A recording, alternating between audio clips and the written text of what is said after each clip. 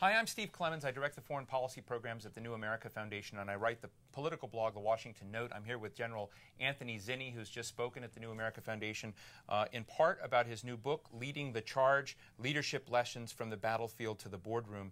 Uh, General Zinni, thanks for, very much for taking a few minutes with us. Thanks, I, I, I, thought I would ask, you know, I, I as I mentioned before, I, I, listened to you on the Diane Rehm show, and I was so taken with this obvious um, struggle uh, at, that, that you you went through and you felt the nation went through over the Iraq War, sorting out what its interests are and how to organize itself in different ways. And um, I titled uh, the, the event we did, Sorting Out America's Honor Problem, and you suggested it's really sorting out our credibility problem. And I, and I, and I think you've implied that we have a tremendous credibility problem globally today. And I'd love to just get a few minutes from you on what you think right. we need to do to get out of this hole.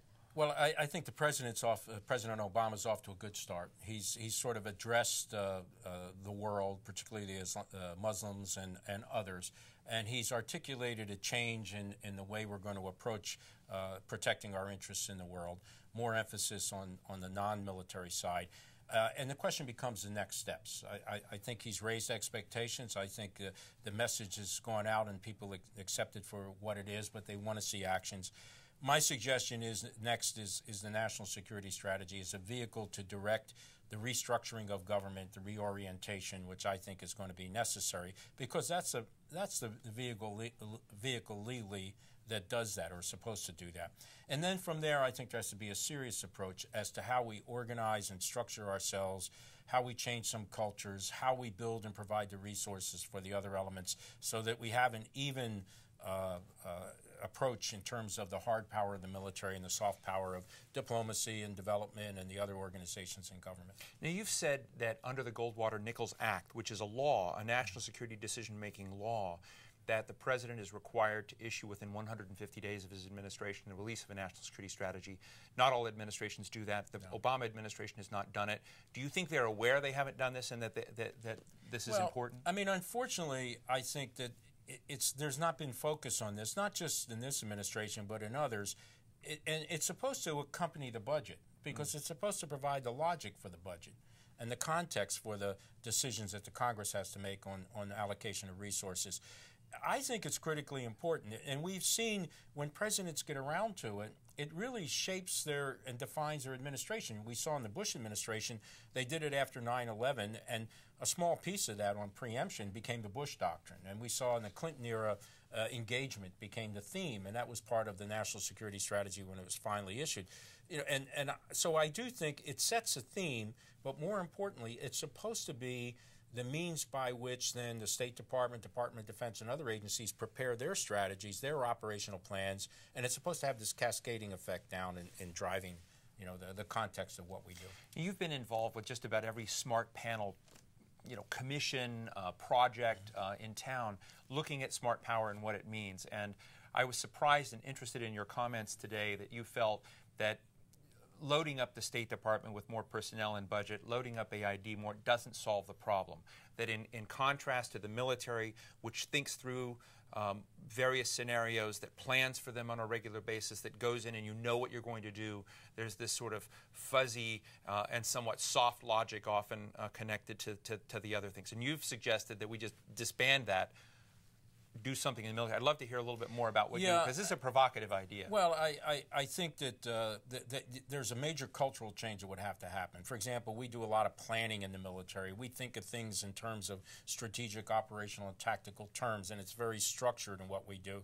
Uh, we obviously are very structured in how we make strategic decisions and, and military policy, in the, in the way we operationalize that, and the way we perform on the ground tactically.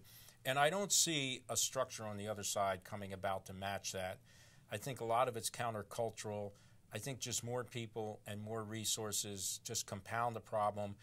In order to get a match, you need a framework that already has those component parts. So, my, my suggestion is we create a military command, a unified command, maybe out of uh, civil affairs, but obviously make it much more robust and it's not meant for the military to take on these non military tasks of economic, political, social mm-hmm. reconstruction or construction, but it's meant to be that existing framework that, that has a process that can plan, that can team and organize, that can structure you and deploy you uh, for the right situations, and, and, and just put that requirement on the military to bring it together. Now, we see sort of many versions of that, like with African Command and Southern Command, where they've integrated their staffs more. But I'm talking about something much more robust that would not only be a, a large staff with, with components, much like our staffs have now of, of uh, services Army, Navy, Air Force, Marine Corps, Special Operations, but it would have State Department component, other components.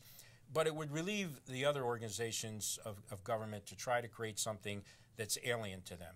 Uh, something that involves planning, organizing, deploying, administering. Let's just let the military do that, be the, uh, the uh, government agency responsible for that. Let me just finish up with two quick last points. One is you're an envoy for Israel and Palestine.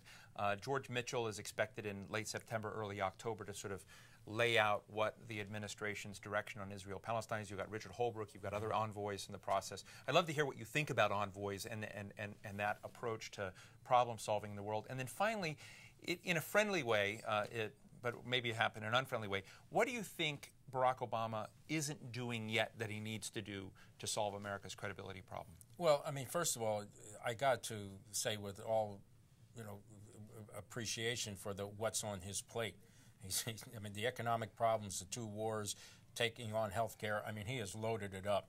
And, and so it's hard to criticize him for not getting to the sixth and seventh issue that you feel passionate about. Uh, and, and, and, and I think there's the issue of foreign policy and national security policy. The team of rivals concept, I think the jury's still out. Does that mm-hmm. really work? Are many voices? Are they really together? What's holding them together? Uh, the president has been forced to be engaged in those other things I mentioned. I think this creation of the envoys is an interesting organizational construct, but it presents a lot of problems. It's non confirmable, it's overlaid as an extraordinary uh, structure on top of the existing structure. What does it mean? Who's in charge? Uh, there may be even constitutional issues. Envoys normally have short term, temporary responsibility. When you create czars and envoys, it's saying that the structure can't handle it. First question you have to ask shouldn't you change the structure to handle it? If it's a short-term, temporary thing, sure, it works. I mean, that, that makes sense.